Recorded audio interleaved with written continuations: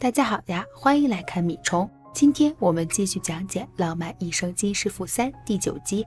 之前议员的儿子在石原医院死亡，议员怀恨在心，对外伤中心的几位医生进行提告。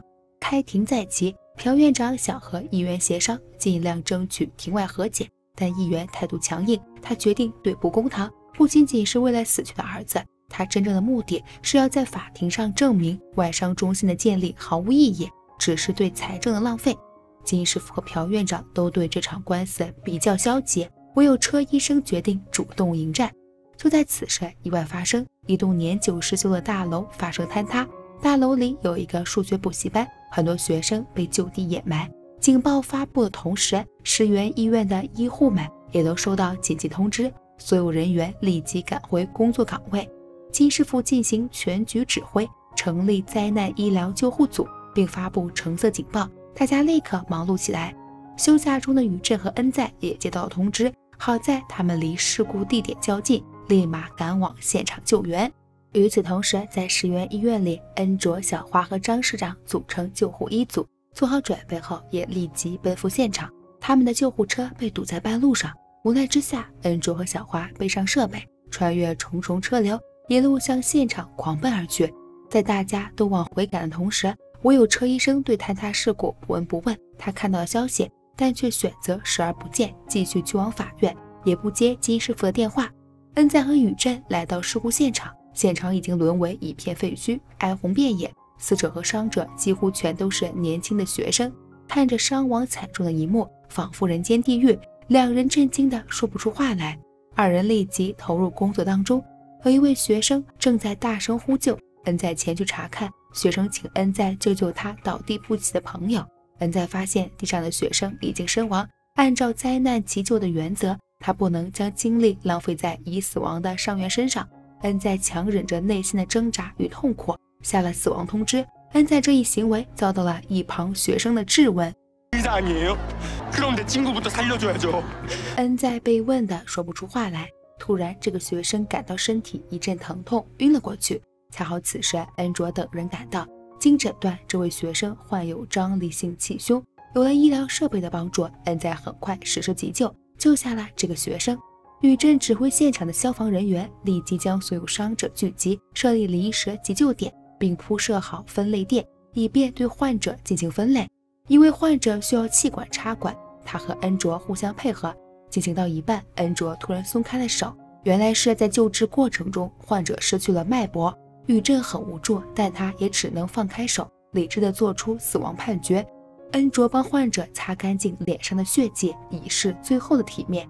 救援工作还在继续，救援队深入建筑内部，发现地下室还困着几个人，其中一人是补习班老师，他的下半身被压住。已经失去意识。听闻是这些学生们在地下室偷偷练武，老师提前发现大楼坍塌，前去疏散，最后来不及逃走，才被困在其中。除老师外，还有五名学生，一位男生没有了意识，剩下四人有轻微的外伤，其中一位呼吸不畅。原来这是一位气喘患者，他有随身携带吸入药物，但药物此时被压在废墟之下。按照目前大楼的情况，有可能发生再次崩塌的危险。设备很难进入现场，只能进行人工救援，需要至少一两个小时的时间。宇振判断气喘男孩和其他受伤的患者很有可能在中途死亡，于是他决定亲自下去急救。宇振的这一决定遭到大家的反对，因为大楼还有再次坍塌的风险。但宇振顾不得这么多，如果他也放弃，患者就会死亡。救援队劝不动宇振，只好作罢。于是恩卓也决定跟宇振一起去往大楼。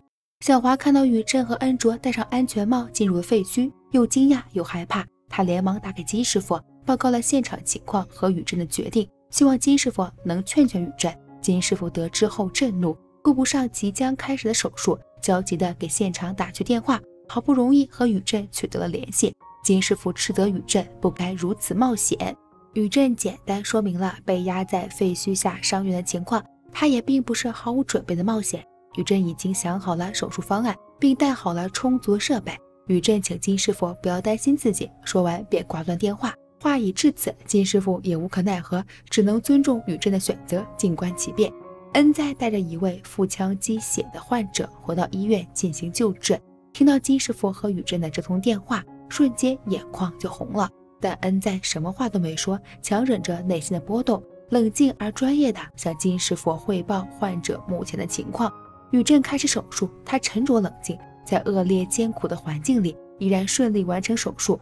与此同时，恩在也在手术室里救治病人，两人分隔两地，但都为着医者的信念全力以赴。金师傅也指挥着大家做好最后的迎战准备。就在大家忙得焦头烂额之际，朴院长带来一则消息。议员也被掩埋在废墟之下。原来当时议员前来拜访不肯拆迁的商户，没想到遭遇意外，如今仍生死未卜。但眼下除了一声叹息，他们什么都做不了。此刻，车医生来到法院，对于金师傅接连打来的电话，他始终没有理会。庭审开始，车医生将事件投向原告席，但议员一直没有出现。